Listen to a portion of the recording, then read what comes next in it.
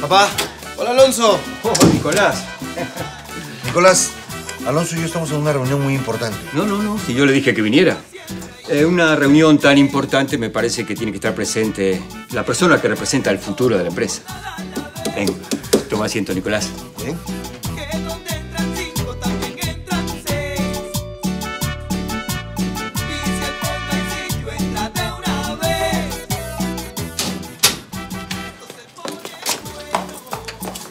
Hon Sui Hon. Hon. Lo dije bien, ¿no?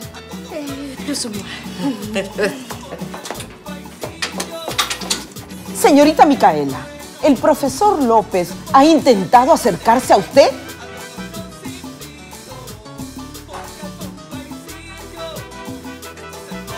El profesor Manolo es bien buena gente. Siempre está atento a todos nuestros problemas, a nuestras consultas. Y siempre se ofrece a darnos toda clase de asesorías. Toda clase de asesorías.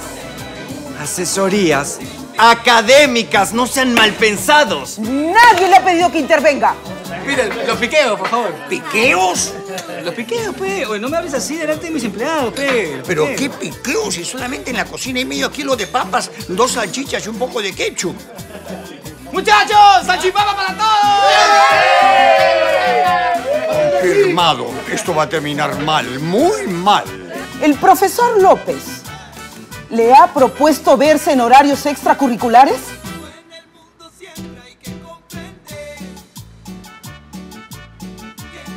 Sí. ¡Degenerado! Yo agarro el primer vuelo que sale de Lima a Fort Lauderdale y hablo con ella. Claro que de doctora paciente.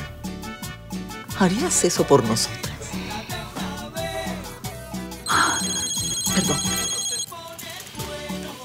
¿Hola? ¿Isabela? Kerly Troncoso es mi sobrina, criada y educada bajo mi estricta supervisión personal. Por lo cual estoy absolutamente segura que ella no es la señorita con la que tiene un romance este don Juan de Pacotilla. Un romance prohibido. ¿No es así, Kerly? Sí, es verdad. ¡Que pase la siguiente!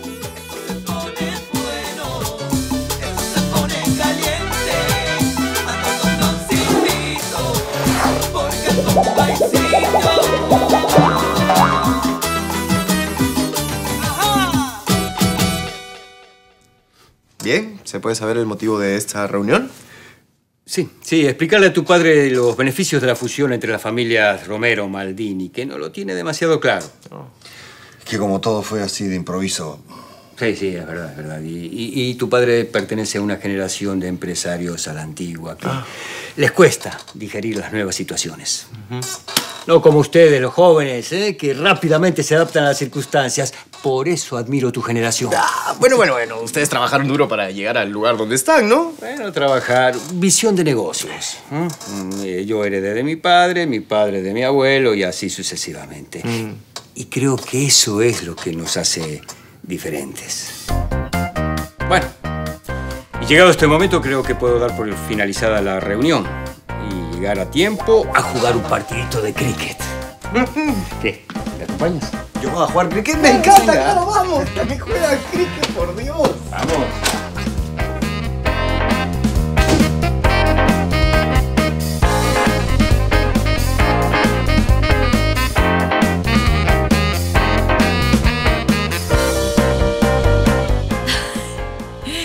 No sabes lo entusiasmado que estaba Joel con inaugurar el DEPA, Cintia. Ay, Fer, no me cuentes esas cosas.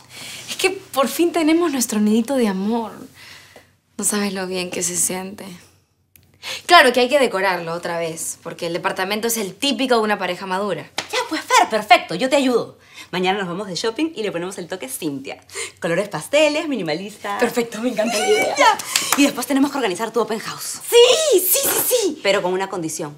Tienes que invitar al practicante churro que me persigue por todos los pasillos de la constructora. No te preocupes, trato hecho. Ahora voy a llamar a Joel para ver en qué está. Hoy es nuestra primera noche juntos y no quiero estar peleada con él. Y conociéndolo, debe estar odiándome.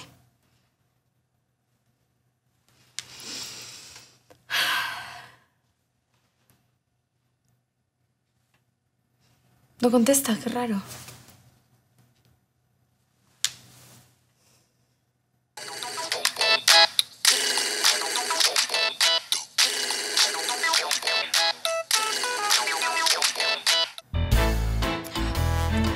Seguro se ha quedado dormido. Claro, tú trabajas y él duerme.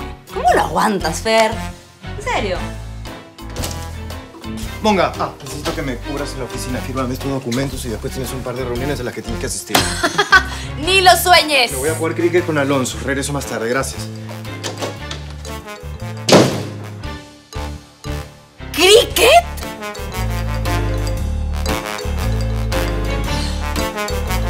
Es, es Isabela. Está bien, está deprimida, está, está pensando en el suicidio. Hijita, qué bueno que me llamas. Eh, justamente... Estoy pasando de maravilla. Salí del hotel y ya que no sabes con quién me encontré. Con Titi Becerra. Y nos estamos tomando unas margaritas frente al mar. Ay, no sabes cuánto me alegra saber que te estás divirtiendo, hijita. ¿Qué? ¿Qué? ¿Se está divirtiendo? Así parece. Unos churros nos han invitado a salir. Tenías razón, Mara. Follow me sacó a Sergits de la cabeza en one. Bye, bye. Bye, bye. Mi hija la está pasando muy bien en Fort Lauderdale. Bueno, igual estoy dispuesto a viajar para corroborar la información. Eh, no es necesario que viajes, Sergio. Tienes razón cuando dices que en estos casos es mejor mantener la distancia. Agradezco tu preocupación. Dice mucho de ti. Eh, Bueno, Francesca, sabes que cuentas conmigo para lo que sea, siempre incondicionalmente. Y sabes que soy un amigo incondicional y siempre lo seré de la familia. Más bien, disculpa por el bochornoso incidente. No, me voy mucho más tranquilo sabiendo que Isabela la está pasando tan bien en Fort Lauderdale. Con permiso. Te acompaño a la puerta.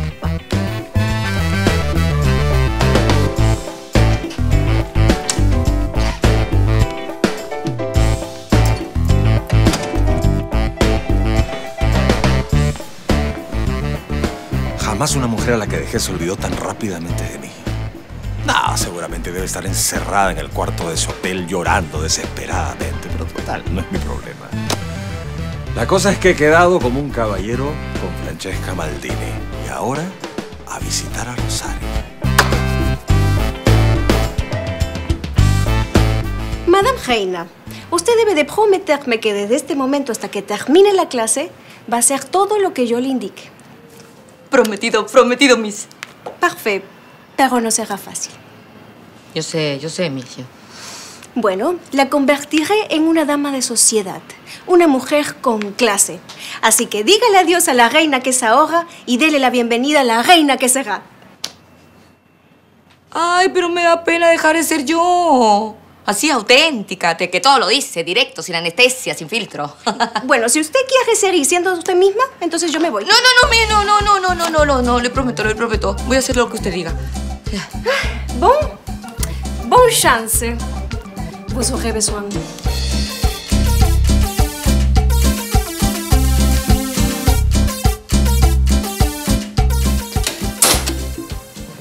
Sergio, Hola, quería saber cómo estabas. ¿Puedo pasar? eh, no creo que sea lo más conveniente.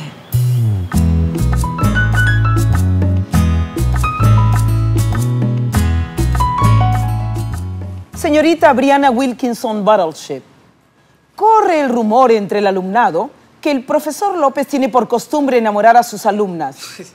¿Es eso cierto? Eso es lo que se dice, reverenda madre. ¡Protesto, su señoría! Es... Protesta denegada. Señorita Wilkinson, ¿conoce usted el nombre de la víctima? Pero si aquí la única víctima soy yo, madrecita. Perdón, reverenda madre. Le juro por la memoria. ¡Cuidado! Que está usted a punto de cometer perjurio. ¿Cuándo ha sido delito ser buena gente con los alumnos? Ser buena gente. Eso puede medirse de distintas maneras, profesor López. Retomo mi pregunta, señorita Wilkinson. ¿Conoce usted el nombre de la alumna víctima de las indecencias del profesor López? No. Puede retirarse.